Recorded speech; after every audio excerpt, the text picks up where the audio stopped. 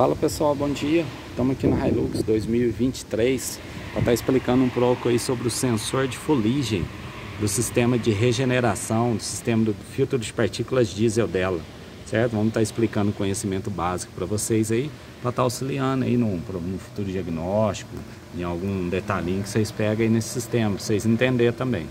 Pessoal, para quem não sabe, o sensor de fuligem, certo? Ele seria como se fosse um nariz, certo? Do motor para o sistema de escapamento, certo? Como é que ele funciona? Ele funciona da seguinte maneira, observa que tem duas tubulações nele, certo? Vocês estão vendo que é esse sensorzinho aqui. E tem duas tubulações nele, uma de entrada, certo? E outra de saída pelo lado de cá. Como é que ele funciona? Ele recebe os gases aqui ó, da entrada do filtro de partículas diesel, que é essa peça aqui. Aqui estão tá os gases do motor vindo, certo?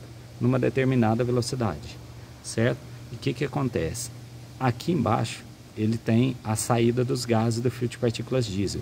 E aqui os gases saem numa determinada velocidade, após ter sido filtrado por ele. Certo? Esse sensor compara essas duas velocidades. Se o gás está entrando aqui, ó, acabou de sair do motor lá, passou lá pelo escapamento, saiu aqui com uma determinada pressão, certo? Passou pelo filtro, filtrou certinho, tá legal a pressão, beleza. Tá ali um pouco diferente dela, tranquilo. Agora, se o gás saiu por aqui com a pressão boa, chegou, encontrou dificuldade, não teve pressão aqui para sair, ou seja, está entupido o filtro, aqui ele já vai sair mais devagar, ou seja, vai ter dificuldade para passar pelo filtro. Aí o sensor de fuligem fala o quê? Opa, central, vamos fazer regeneração que esse DPF está sujo. E aí é nessa hora que se inicia a regeneração.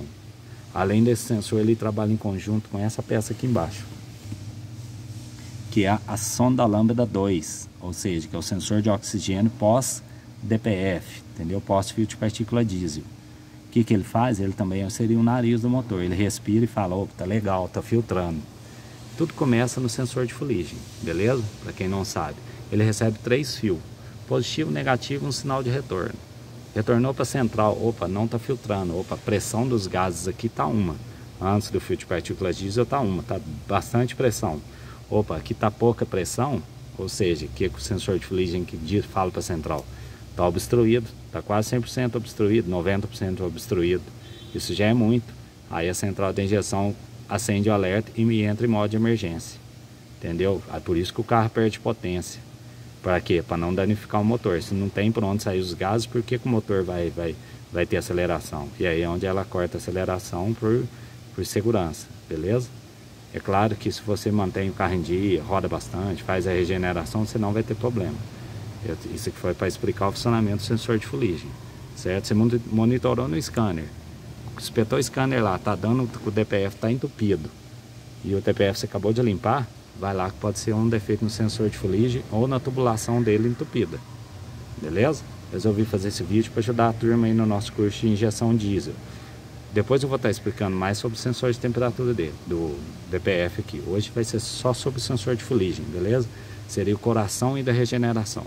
Espero ter ajudado vocês aí. Continua na nossa playlist do curso de mecânica de automóveis aí, beleza? Injeção eletrônica diesel também é bem interessante, principalmente essa Hilux aqui, tem até bico de diesel.